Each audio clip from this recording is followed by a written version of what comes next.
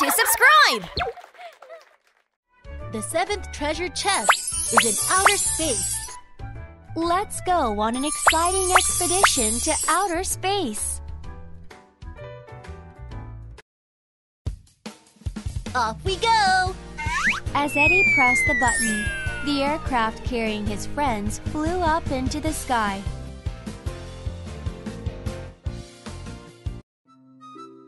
The aircraft soon arrived at the moon, the closest neighbor to the Earth. My body feels so light, Crong. It's because the gravity here is weak.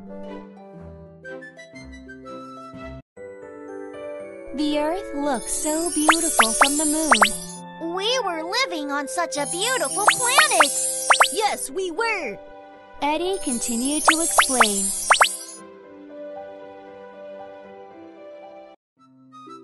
The solar system we live in has eight planets that orbit the Sun. They are Mercury, Venus, Earth, Mars, Jupiter, Saturn, Uranus, and Neptune.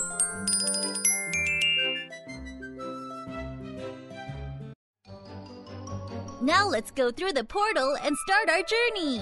The aircraft teleported through a portal that Eddy had built.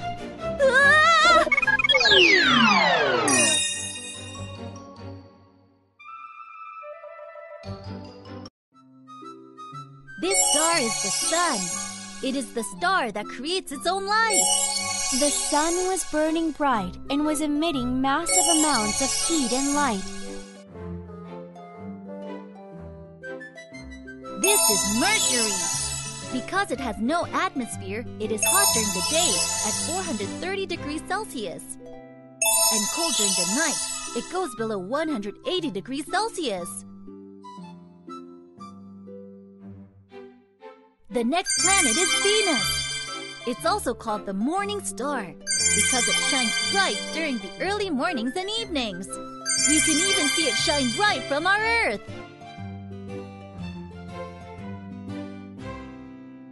This planet is Mars. It's close to the Earth and it's covered with red rocks. It doesn't light itself, but the sun's reflection makes it look like it's shining with red light. Just then, they saw a comet with a long tail fly by. Everyone made a wish and then went on to their next destination.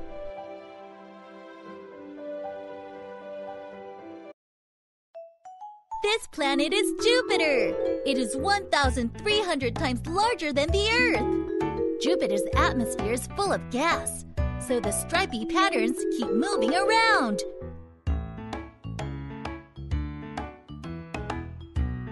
This planet is Saturn. Saturn has a beautiful ring and lots of moons. This ring is made up of all sorts of ice. Isn't that neat?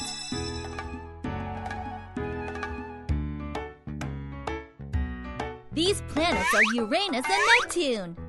Uranus turns on its side, and Neptune is the furthest planet from the Sun.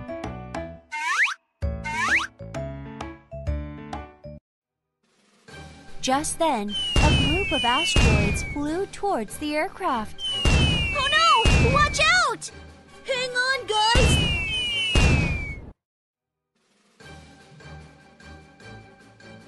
But as they cleared away from the asteroids, they ran into a black hole. The black hole was sucking in everything surrounding it. Ah! They escaped the black hole thanks to Eddy's amazing flying skills. Then they reached the beautiful Milky Way. Phew! That was dangerous. Just then, they saw the treasure chest floating around in front of them. Wow! We found it at last! Everyone was very happy. One day in a peaceful forest, Eddy was looking troubled. Why was he upset?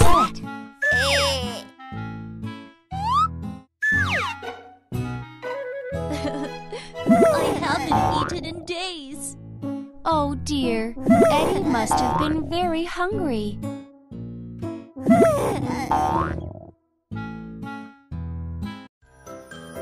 Just then, he saw a vineyard in the distance. The vineyard was filled with grapes. Oh, they look delicious.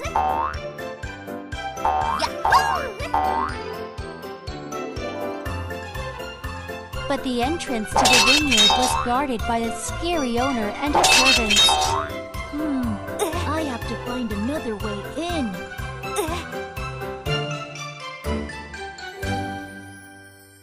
Just then, he found a small hole in the fence of the vineyard. Great! I can sneak in through here.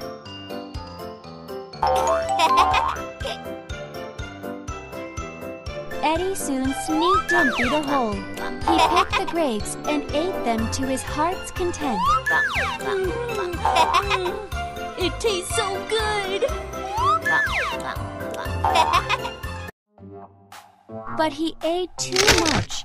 His belly became so big that he couldn't crawl back out through the hole. What shall I do?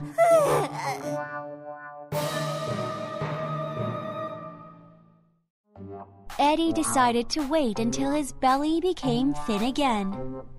One, two, three, and four days passed. His stomach eventually started to shrink. After a few days, he became thin enough to finally crawl out through the hole. Oh, I finally escaped.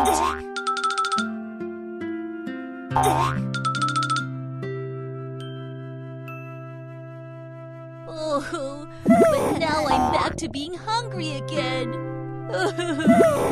Eddy teared up, feeling woeful.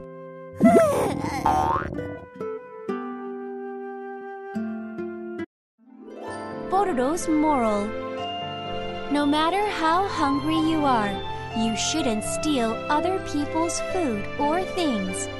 You might be happy at first, but you will end up regretting it just like Eddy. Try having this discussion. What would you have done if you were Eddy?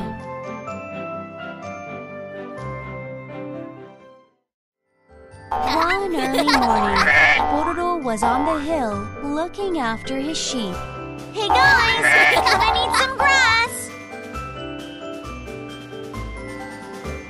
But Pororo was bored of tending his sheep every day.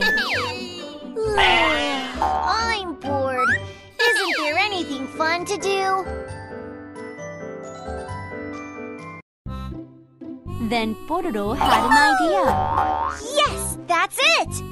He immediately rushed down to the town.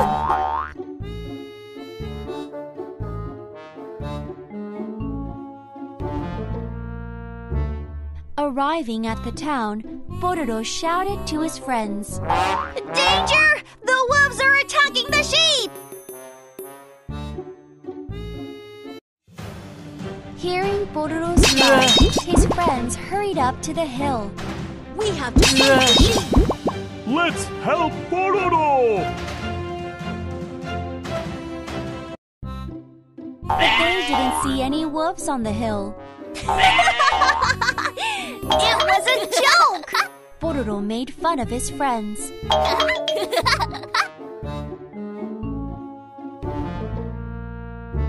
The next day, Pororo ran to the village again and shouted.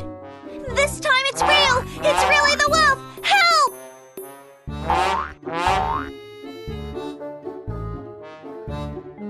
But there was no wolf this time either.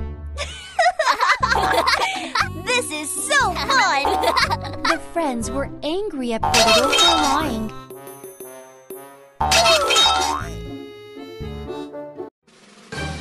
But one day, the wolf really appeared. Feeling terrified,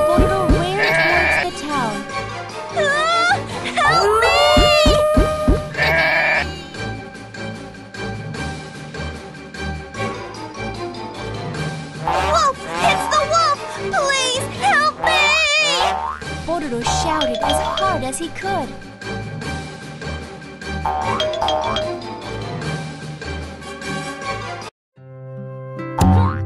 You're lying again, right? You aren't fooling me again! The friends didn't want to help Pororo. the wolf ended up eating all of his sheep.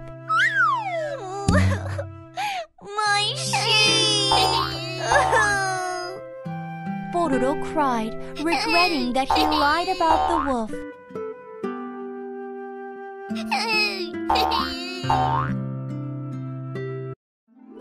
Pororo's moral If you lie all the time like Pororo, nobody will help you when you really need help.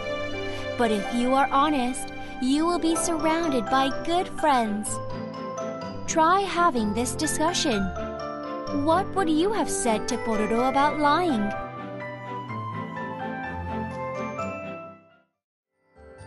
One sunny day, the sun was beaming with warmth. Then the wind blew in a big cloud.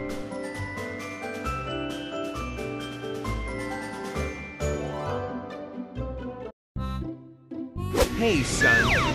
Are you really that strong? I bet you're not as strong as I am. The cloud was showing off. Then the cloud challenged the sun with a game of strength. Let's see who can take the coats off of those children passing by. A few moments later, the cloud blew as hard as it could upon the children. Huh? Why is the wind suddenly blowing? The wind is too strong!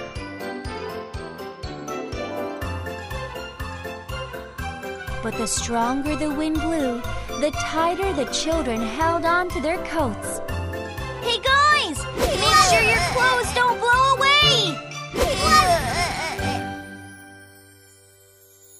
The cloud eventually was out of breath and said to the sun, I give up. Now you try.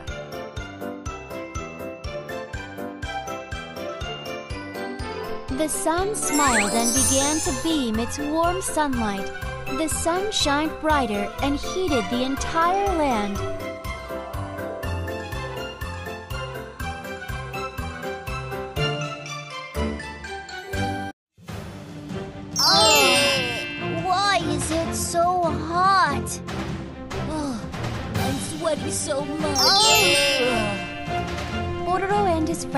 Were so hot that they didn't know what to do. Eventually, the children took off their coats. What? They didn't even budge when I was blowing. I won't lose next time. The cloud turned red with embarrassment and ran away. And the sun smiled brightly once again.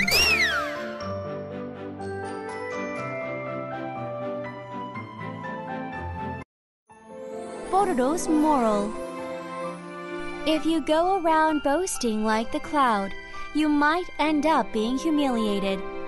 But if you are humble, you will be appreciated. Try having this discussion. What would you say to a friend that likes to show off? Tutu forgot his way back home. Gather the alphabets and help him find his way home. Let's gather the alphabets and look for the house.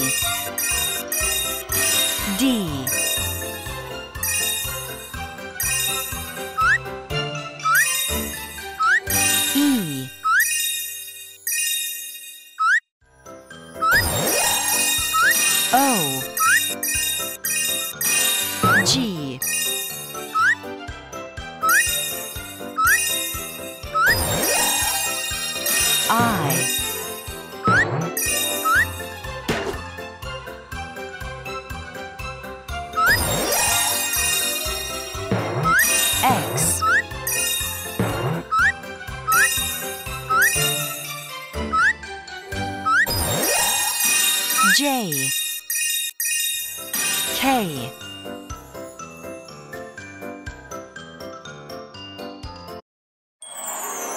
Hurrah! You found Tutu's house. Tutu jumped into the air because he was so happy. M. P. D. E. O G I X J K Pororo's band music is lousy. Become a conductor and help them play the music. Find friends who are making mistakes.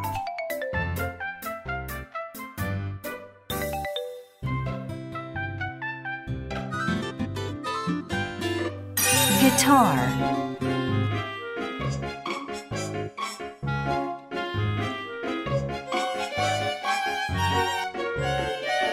Violin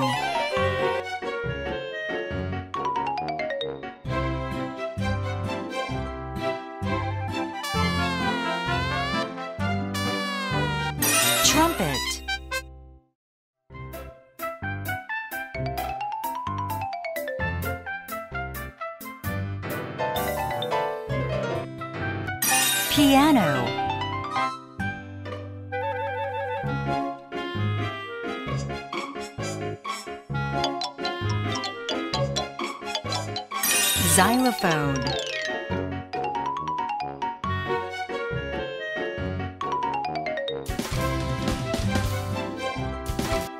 Drum.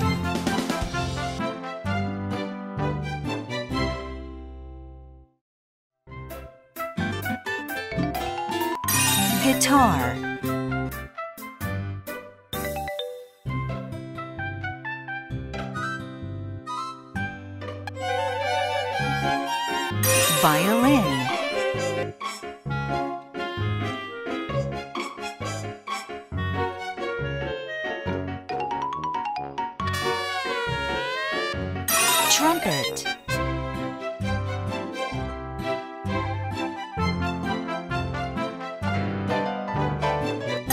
Piano.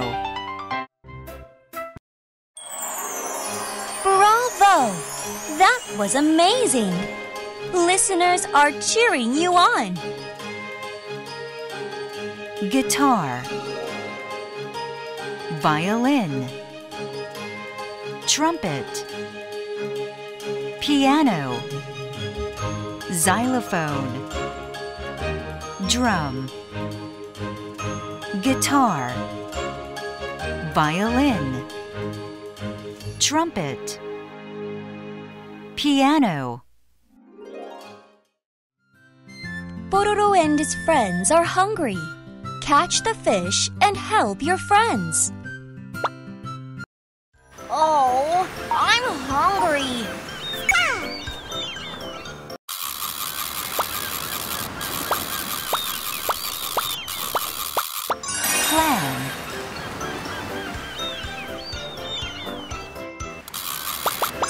Mussel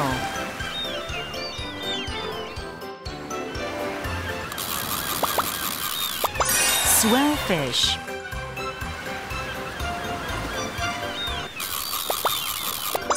Starfish.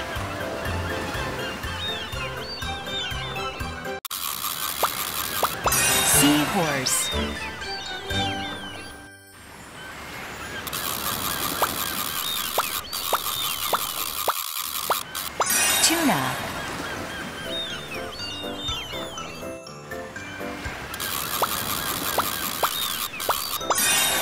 Hairtail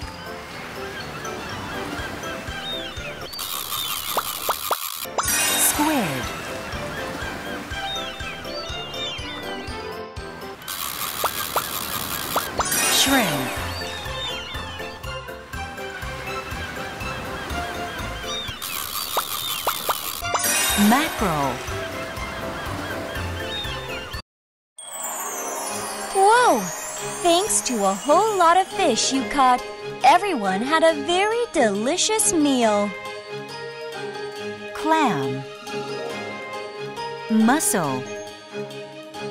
Swellfish. Starfish. Seahorse. Tuna. Hairtail. Squid. Shrimp. Mackerel. The rabbits are spoiling Loopy's carrot farm. Punish the rabbits. Hit the rabbits with the squeaky hammer. Sky blue. Pink.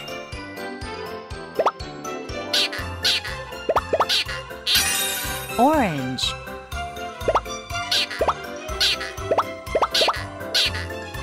Navy.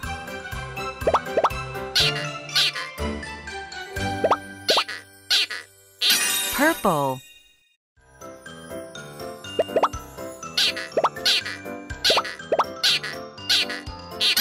Yellow.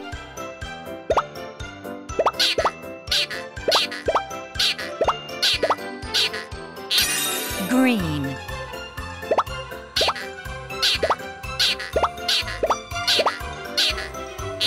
Blue.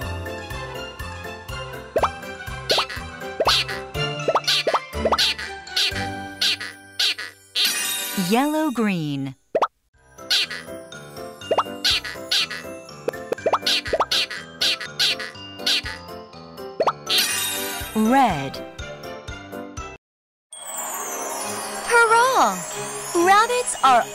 gone.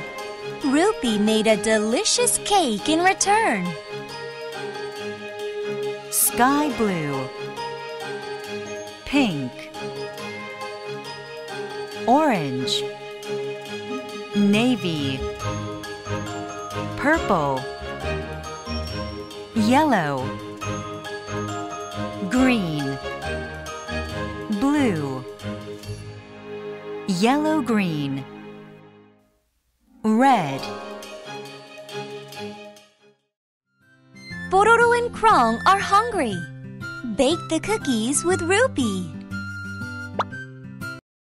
When the cookies are baked well, press them.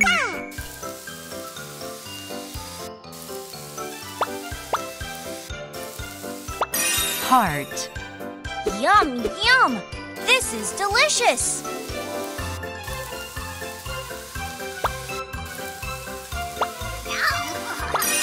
Star.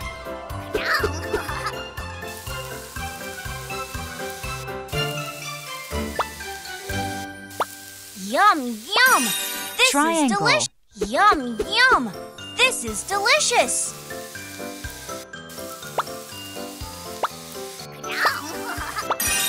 Square. Yum, yum! This is delicious!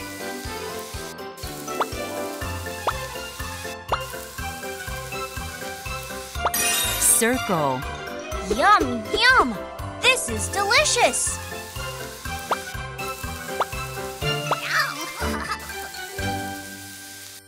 Heart. Yum, yum! This is delicious!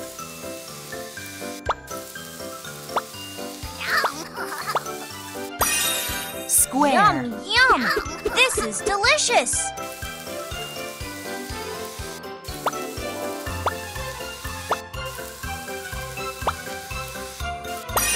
Star. Yum, yum! This is delicious!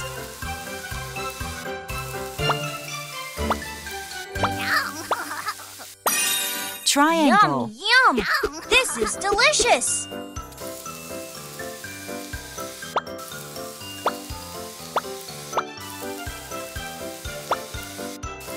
Circle. Pororo are now full. Shall we try the cookies together?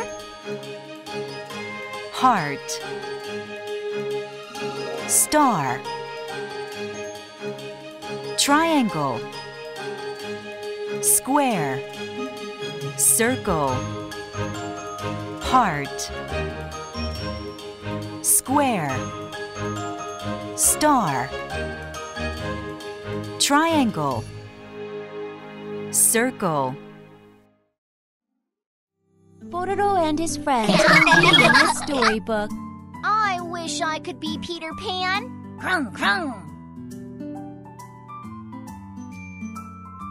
Eddy seemed to have a good idea, so he said, Why don't we perform a Peter Pan play? A play? right! but everybody wanted to play the star of the show, Peter Pan. to be fair, let's pick sticks. Yay! I'm Peter Pan! I am Captain Hook. And his friends were all envious that Pororo got to be Peter Pan. Later on, as the play started, Pororo shouted out his line. Hook, you villain! Let Wendy go! But Pororo's friends were being sulky and weren't cooperating. Who's Wendy? I have no clue.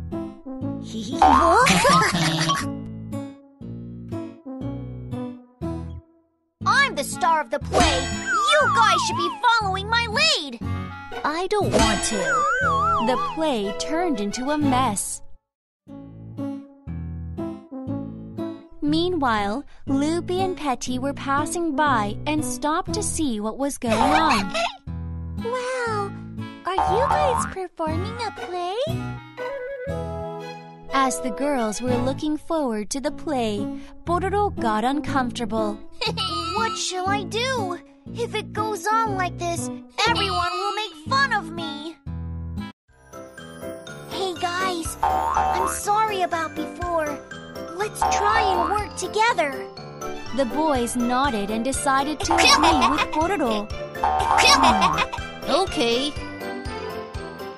Soon the play started. Captain Hook, bend your knees! Peter Pan is here!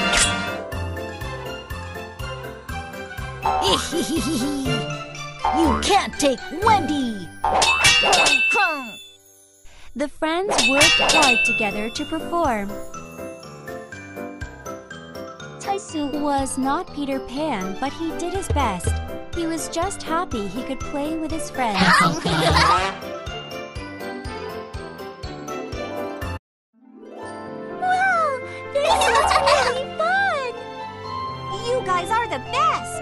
Everyone cheered as the play came to an end. the friends felt proud that they finished the play together. If you cooperate with each other, there is nothing you can't accomplish.